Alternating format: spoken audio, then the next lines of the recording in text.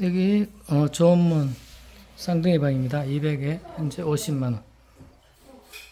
오른쪽 왼쪽으로 이렇게 방이 되어 있습니다.